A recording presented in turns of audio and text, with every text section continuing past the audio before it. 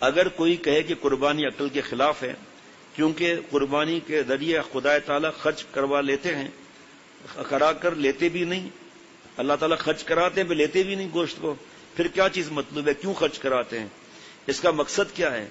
अगर ये कहो कि हमको गोश्त खिलाना मंजूर है तो मिना और मक्का मुआजमा में हज़ारों जानवर जिबा होते हैं, उनका गोश्त तो आप खाते नहीं है। बिल्कुल जाया हो जाते हैं। नहीं, कितने मुल्कों में जाता है ये माल?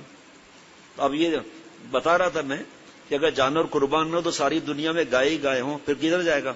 दफ्तर कैसे जाएगा? फिर उनको खिलाने के लिए चारा चाहिए तो इतना चारा कहाँ से आएगा? ये देखो तो सही भाई। ये, इस बार पहली दफ़ा हुआ है, उन्नीस सौ छियानवे से लेकर अब तक ये पहली दफ़ा हो रहा है कि अभी भी पूरा नहीं हो सकेगा। और पता नहीं कितने कितने मजामीन है, लेकिन कुर्बानी के बारे में, अकल की नज़र में हज़रत मुजद रहमत जब इसको बयान करेंगे तो क्या होगा? और पैंतीस सफात कैसे एक बयान में हो सकते हैं भाई?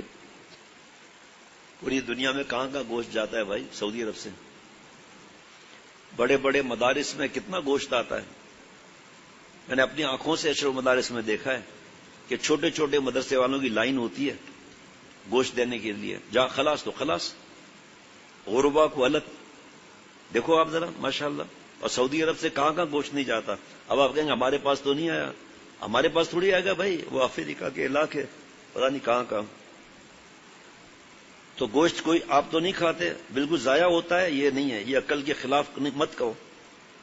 इसका जवाब यह है कि जनाब मन मतलब मुजद फरमा रहे इसका जवाब है जनाब मन, समझाने के लिए कह रहा हूँ कि तुम्हारी अकल में किसी शय का न आना, खिलाफ अकल होने की दलील है तो हमारा आपका पैदा होना जिस तरीके से हुआ है, वो भी तो अकल के खिलाफ है। वो भी अकल के खिलाफ है भाई।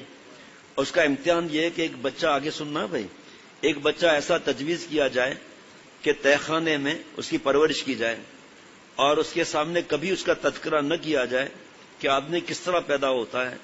हती कि जब 20 बरस का हो जाए तो उससे अचानक कहा जाए कि आदमी इस तरीके से पैदा होता है तो हरगिज उसकी अकल में न आएगा।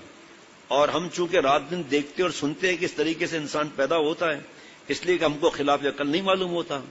तो जनाब मन, हम तो जब से पैदा हुए हैं, हमारे तमाम हालात ही तो खिलाफ अकल हैं। हमारी अकल तो बस खाने कमाने की है।